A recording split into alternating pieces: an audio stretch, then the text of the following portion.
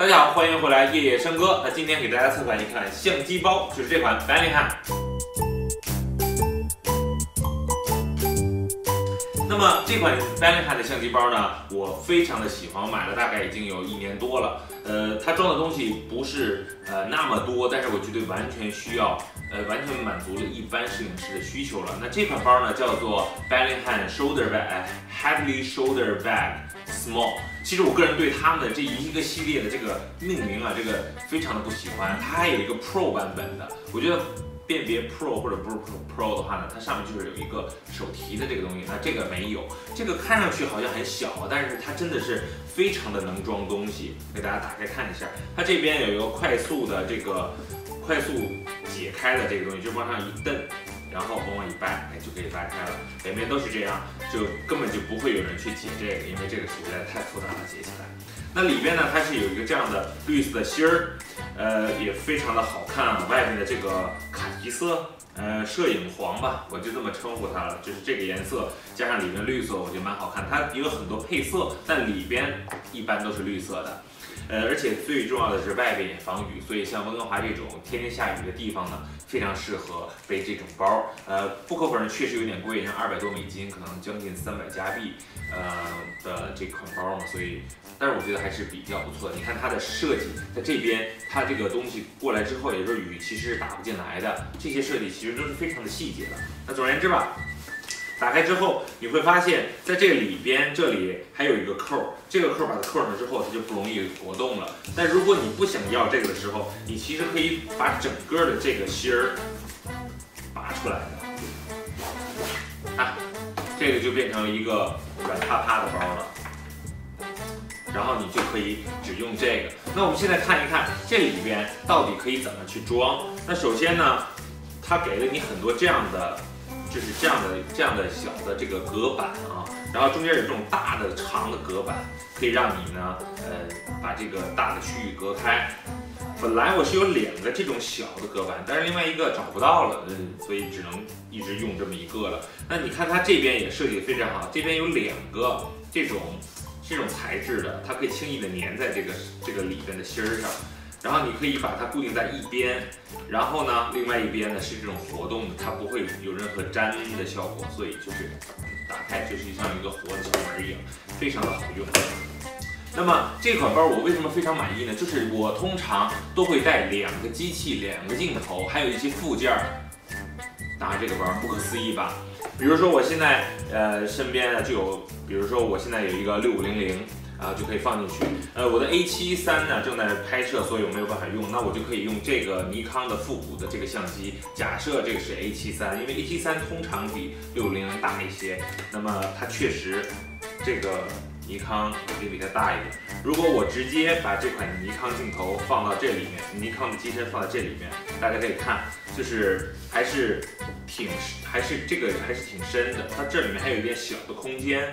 呃，如果放六五零零的话，在六五零零身上还可以再放一个镜头，比如说这样放进去之后，然后你可以拿一个小的镜头，还可以再放在上边，啊，就是这个样子，其实还是蛮不错的，只是下边有一点可能会有点刮痕，这就是为什么我说我找不到另外一个这个的原因。如果能找到另外一个这个，可以放进去，然后再把它放上去，就不会刮到了。那么，OK，那么我们现在放一个 A 七三啊，基本上放一个 A 七三或者 A 九或者是 A 七 R two 啊这样的，基本上中间我觉得就放不下去了。那我建议呢，这个袋子一般卸掉，一般拍摄拿袋子很麻烦。那么这个是中间 A 七三，通常呢我会放一个变焦或者是很大的这种长焦。那我现在手里拿呢，这个是 F E 的索尼的九十微距的镜头，这个镜头很很很大。那你也可以用 Tamron 的这个二八七五的这个镜头，跟它差不多大，呃，都可以把它放到一边。比如说我放在这里。是吧？这个呢，基本上高度已经差不多满了。另外一边呢，你可以选择两个头，因为我如果拿着六五零零的话，六五零在哪里？在这里。六五零零是一个半幅机身，那如果我把半幅机身放到这里边之后，它大概只满足了多四分之，嗯，三分之二的距离吧。所以你勉强把它放在上面之后。这样，你勉强呢可以在上面呢再放一个镜头，但是再放一个镜头的话，我通常就是推荐放，比如说我的这款二十八 f 二 f 一的，呃非常小巧，呃稍微凸起了一点，不过你把它盖上之后，哎就大概还可以了，我觉得就是大概能满足呃你的一个基本需求。那么或者是呢，你可以放一个，嗯，如果你不要上面的这个这个片儿。就把它放在上面的话，可能 fit 会更好一些，，fit 会更好一些。那么这个呢，就是 F 二，当然你也可以放广角一点的，广角的这个呢就稍微胖了一点啊。你看跟这个 F 一啊二十八比起来，就稍微胖一些。你也可以把这个胖一点的放进去，其实也还 OK，哎，也还 OK。嗯，或者是我平时也经常用的，就是这个十六七零等效呢，大概就是二十多到一百多吧，就是这个。呃，这个呢就稍微有点大，我很少会这么放，因为如果我的 A 三是呃放 t e r a n 的二八七五，那我的这个半幅机呢，可能通常会放一个定焦，那要看到底是用广角的这个，呃，要放一个定焦，那就看到底是要二十八呢，还是比较广角呢？如果喜欢 vlog 的人呢？一般就会带着这个，不过我通常带这些器材出去的时候，通常都是因为要拍一些东西了，就是一些商业摄影。那么我就放一个二十八 f 二的，因为我最喜欢这个镜头。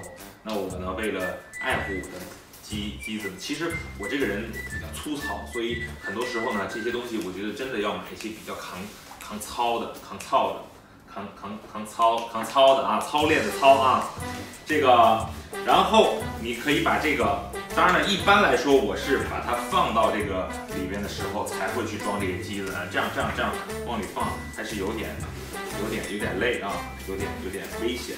OK，大家看可以看到，我现在放在这里头了啊，非常完美的这样放进去了，然后你就可以把它盖住了。但是你知道，有的时候你出去拍拍摄视频，呢我也没有那种 f 一点四的那种大光圈，所以有的时候呢，我需要带灯。大家看啊，这这个就是我平时有的时候会用的一个灯。那它需要放一个这样的电池，很大，放在后边，这样，然后你可以打开用。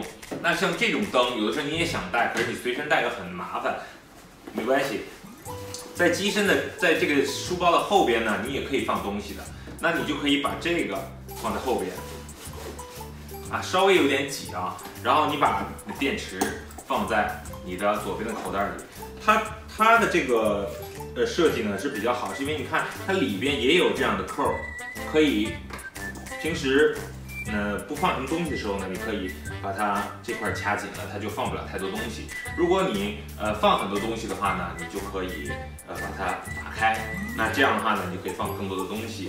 另外呢，你呢另外一边呢可以放你一个小的 micro 呃 road 的这个 microphone，可以掖在这里头，哎就可以了。小的三脚架呢也可以再继续放这边，或者一些小的电池的 accessory 都可以放在这边。那你可以把扣。把扣系上，确实是有一些紧了，不过我觉得为了轻便嘛，为了可以，啊这边好像就不太能装下来。哎，OK，一边弄好了，另外一边是这样。所以通常情况下，这样你也可以把这个包带走，是不是能装非常多的东西？所以说装两个机身，啊两个镜头。呃，一个全幅机身，一个 A7 啊这样的，然后一个呃变焦头，然后还可以装灯，然后麦克麦克风这些都可以装，所以说它的效果是非常非常不错的。呃，它的这个容量其实是很大的，当然也会重一些。呃，基本就是这样。所以我觉得对于轻量级的呃偶尔出去拍一拍片子的呃人来说呢，这样的一个。呃，HADLY shoulder bag small，其实就已经很够了。当然了，通常很多我看 YouTuber 他们用的都是稍大一点的，上面有个 T 恤的，那个当然也很不错了。但我这个人比较喜欢精简，所以不喜欢带太大的包出去，呃，很逛嘛，所以不是很喜欢。呃，那今天的这个相机相机包的这个测评呢就到这里，希望大家继续关注和点赞啊我的频道，那就下次见，拜拜。